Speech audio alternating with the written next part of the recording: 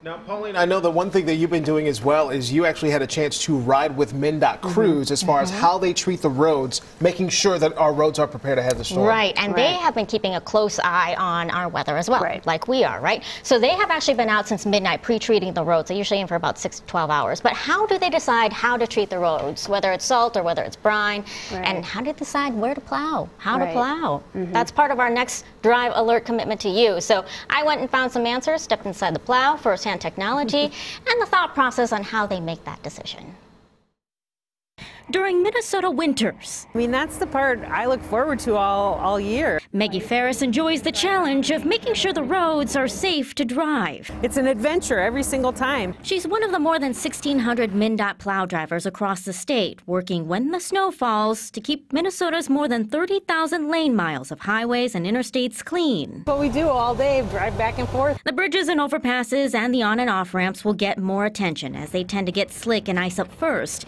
In addition to stopping stocking up on the salt and the brine to do the job most effectively. All right, so this is booting up, and this is sort of our control panel. Drivers right rely there. on technology. There's more than 800 MnDOT plows across the state, with roughly 200 in the metro alone.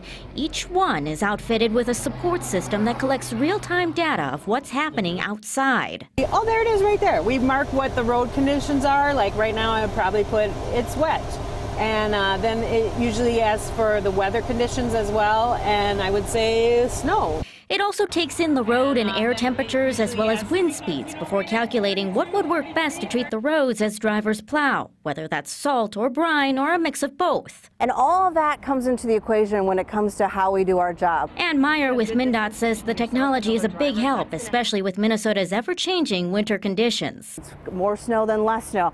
If the timing is different, all of those can have an impact on how well we do and when we do things. Working smarter to make sure we're all prepared for what happens next. And it's for you, it's to clear off the lines that you can't even see so that you can be safe out there. And of course, drivers, you can do your part as well to help out those plows. Keep your distance. MnDOT suggesting 200 feet behind those plows. That's roughly about 10 car lengths. That's a lot, and we know you have places to go in the morning, but you'd rather get there safe and sound instead of, you know, what the worst could happen. So just got to be careful.